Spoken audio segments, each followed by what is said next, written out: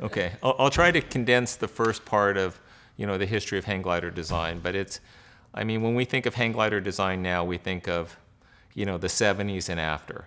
But really, hang gliding has been around for a long time. I mean, there's Chanute, there's Lilienthal, and in, in the 1920s, my, my uncle, my, my great uncle, um, flew foot launch gliders, and on the back of the photo of him flying these foot launch gliders, it says Wilson flying a hang glider.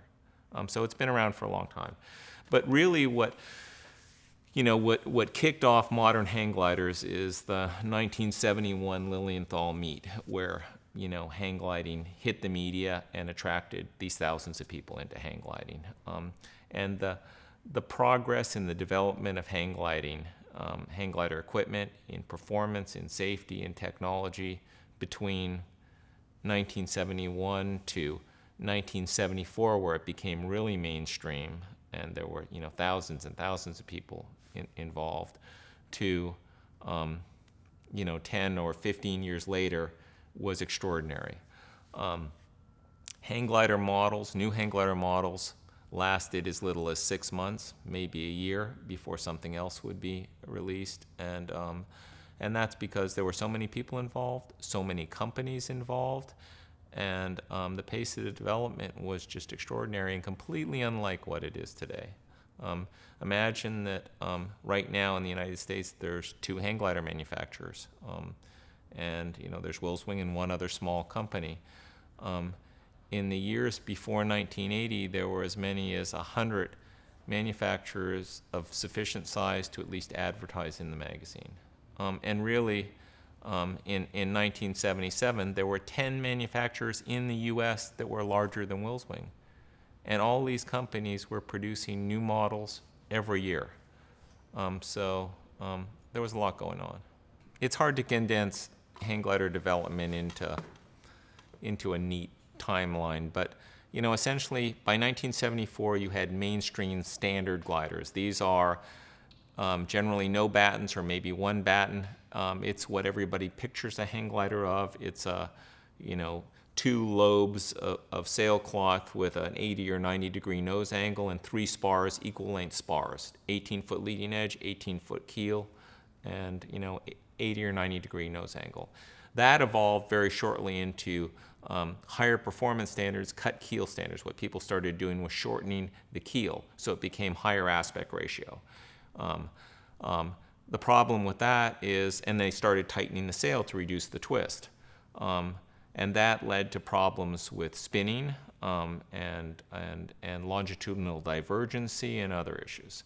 Um, that got um, so there was the standard, the cut keel standards. The next milestone in development was um, the radial roach tip, where the tip chord was extended to reduce the tip stall problem and to move, um, you know, some twist out, out to the tip.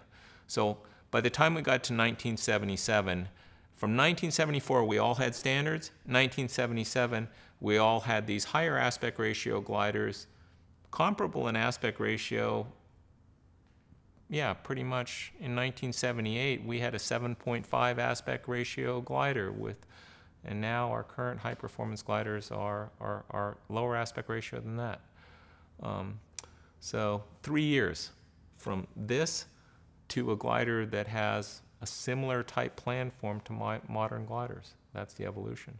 So 1977, we still have these single surface gliders with um, without defined battens, um, without, without de a defined airfoil. Um, so that evolved in the next couple of years. By 1979, we have well-defined battens, aluminum battens defining the airfoil. We have more double surface in the sail, and we have cantilever leading edges. Because these earlier gliders, to support the, the long spars and the big wingspans, they had deflexors. This is like kind of imagine a sailboat, all the rigging on the sailboat, we had those supporting our leading edges, all these cables out there supporting the leading edges. So we had um, from 77 to 79, we got rid of all these cantilevered wires. We had double surface, we had fixed, bat, fixed battens, and the glider that kind of put it all together um, into put all the components of of all that development into one product that worked well was the UP Comet.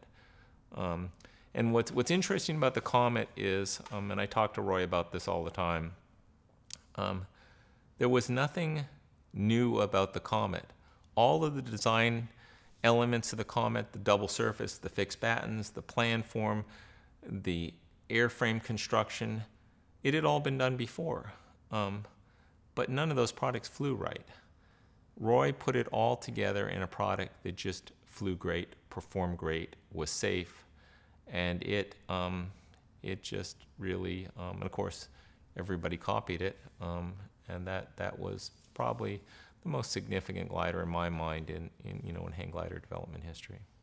So okay, so in in 1980 we have the Comet, um, and then no, progress still continues um, with the comet. It's all incremental changes, building on these, you know, on on on, you know, the attributes of, of the glider before. I mean, we're flying these gliders, we're changing them, and at this point, still new models are coming out, like every year. The the product lifetime of a, a glider is like a year, and you come out with a new glider.